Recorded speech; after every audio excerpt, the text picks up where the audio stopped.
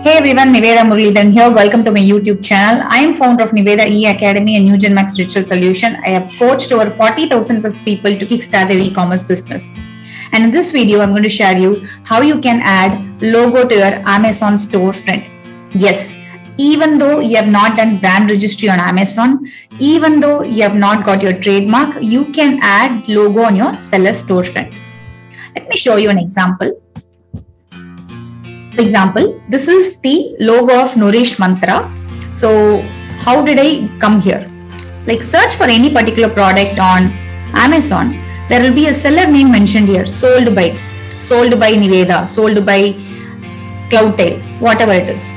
Just click on this particular name. This will lead to a page where you can see the entire seller storefront, feedbacks, everything. By default, you will not be able to see this logo, we have to do a small settings in the Seller Central. Log into your Seller Central, click on settings and click on your info and policies. Once you click on your info and policies, you will have an option called seller logo. Here you can upload a logo, but the problem is that you can upload only 120 pixel into 30 pixel.